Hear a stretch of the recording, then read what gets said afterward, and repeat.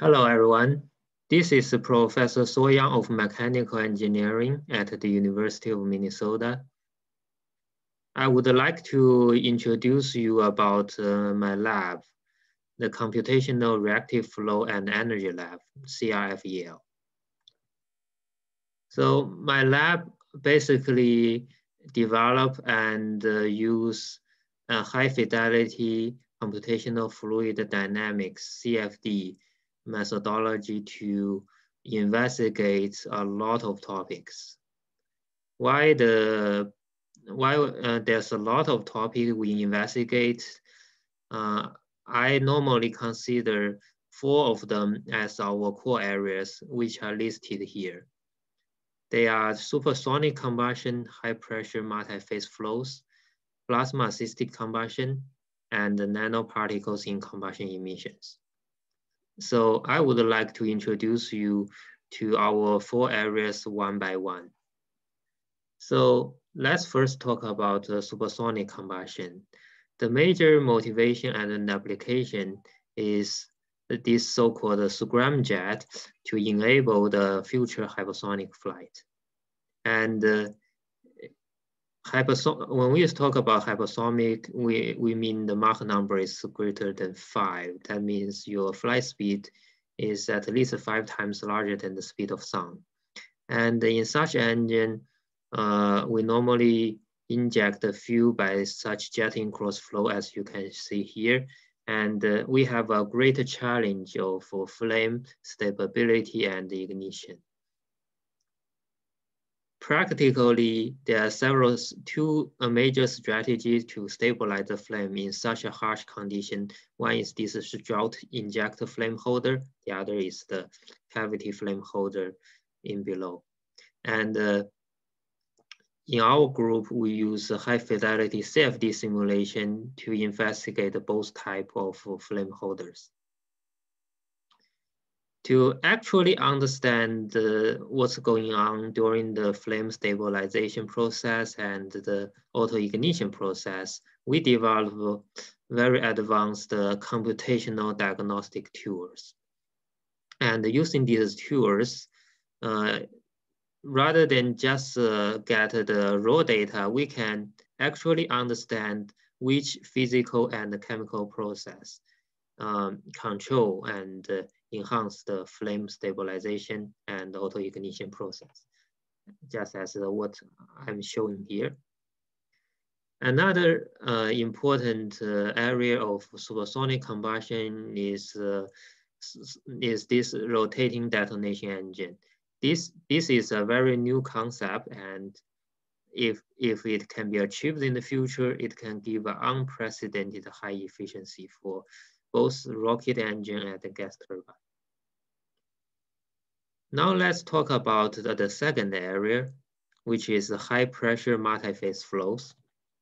The motivation for this area is, is that uh, the rocket engine and the diesel engine and the next generation gas turbine, they all operate under extremely high pressure. For example, the SpaceX Starship Raptor, uh, Raptor rocket engine operate more than 300 ATM. Under such condition, you can go inside the so-called thermodynamically supercritical region. And here is an example of our simulation for this uh, uh, methane liquid oxygen uh, mixing and combustion process for such rocket engine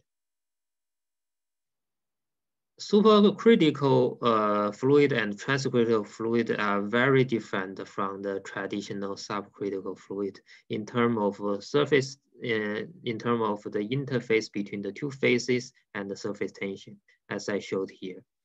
And uh, more importantly, the mixture uh, critical point could be much higher than the single component one, such that some so-called supercritical fluid could even be in the subcritical region. And in this video, as you can see, we inject uh, only the single phase, but uh, due to the two-phase zone and the phase separation, we can generate the other phase. Under such a transcritical condition, the interface between the liquid and the gas phase becomes thickened. You don't see the sharp interface. As a result, the evaporation process become, uh, become very non-equilibrium. And uh, we develop advanced non-equilibrium model to capture it accurately. And here shows you how important the non-equilibrium term is. And finally, in this uh, two-phase zone, we will have this microscopic phase separation. And we are currently developing new models to capture such uh, complicated phenomena. The third area is the plasma-assisted combustion. The first motivation is in the scramjet because the flow is so fast. It have very, very small residence time to go through the engine. As a result, you need this uh, extremely fast ignition, which the traditional way cannot enable.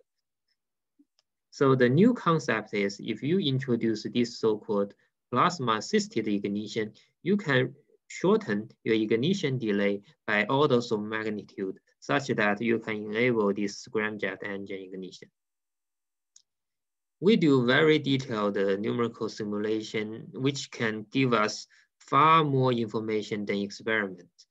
Here is the example to show you the detailed chemical process during the two-stage ignition uh, for the scramjet applications. And uh, we can actually understand what happened to trigger the super fast ignition by plasma. Another application of plasma-assisted combustion is to, uh, to burn the carbon-free ammonia.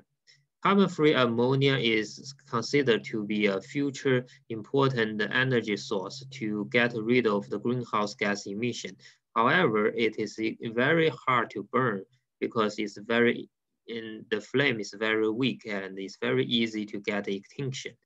So research found that using plasma, you can actually significantly extend the flame, so-called flammability limit, such that under the condition it cannot burn before, we can burn it now. And we use large eddy simulation to investigate such phenomena. The last uh, uh, research area is the nanoparticles in combustion emission.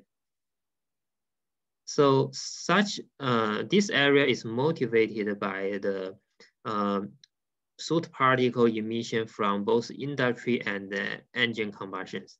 And uh, you can see that we have a very complicated physical and chemical process to form all these particles. And in our group, we use a statistical uh, way to model such complicated process and this plot show you how accurate our modeling it is. In practical problems, we have very complicated uh, turbulent combustion phenomenon and the turbulence will interact with the chemistry and the nanoparticle uh, to make the problem even more challenging than what we saw in the last slide. And uh, in our group, we contact uh, we conduct high fidelity direct numerical simulation to get uh, in-depth physical understanding. And based on that, we do subgrid scale modeling to enable the high fidelity large eddy simulation. Here is an example to show you our new model uh, improved the accuracy by a factor of 80 compared to the traditional model. And uh, we use it to conduct large eddy simulation for jet flame and also apply it to gasoline direct injection engine. It's the next generation IC engine. Okay, so that's all the four areas in our lab. And uh, this is the beautiful University of Minnesota campus. I hope you like my presentation and uh, we welcome uh, more uh, people to visit and also join our group. If you have any questions, please feel free to contact me and this is my contact information. Thanks.